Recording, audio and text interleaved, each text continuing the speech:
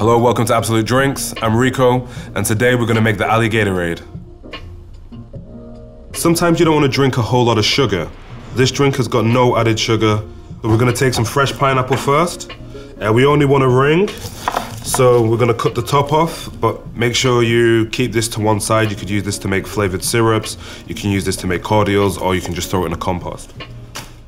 We want one good ring, and we wanna take away all this skin. We wanna keep the flesh, and that core is going directly in the same place as the skin and the bottom of the pineapple. We've got the main flesh of the fruit now. Give that a chop.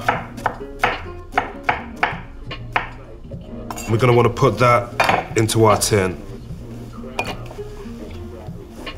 Take your little muddler, and we're gonna squash all that fruit up. Get the juices flowing, break everything up so all the flesh is there, all the juice is out. We're gonna have a lovely drink.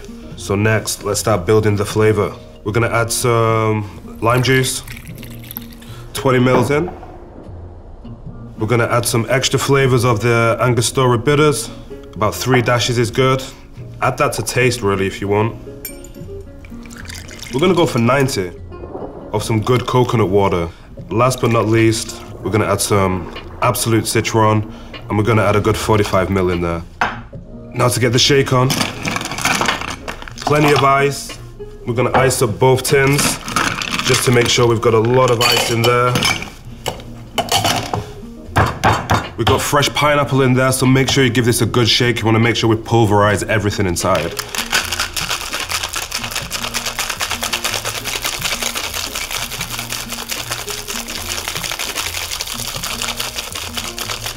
Whew.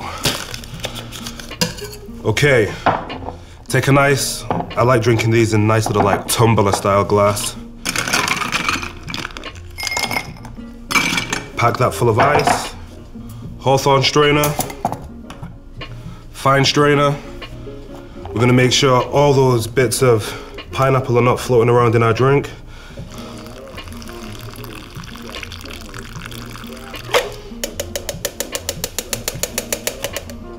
And then to make this look pretty, go straight in on a pineapple leaf.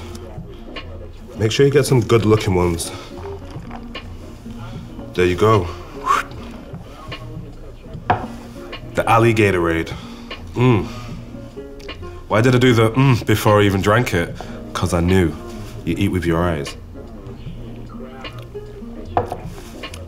It's like fresh, light, pineapple coconut flavors. Best drink in the world by me. Says me. Nah, it's just a good drink. Simple but good. Mm. Five out of five stars. Amazing. So refreshing. It's like a summer's day. A summer's day in paradise. Mmm.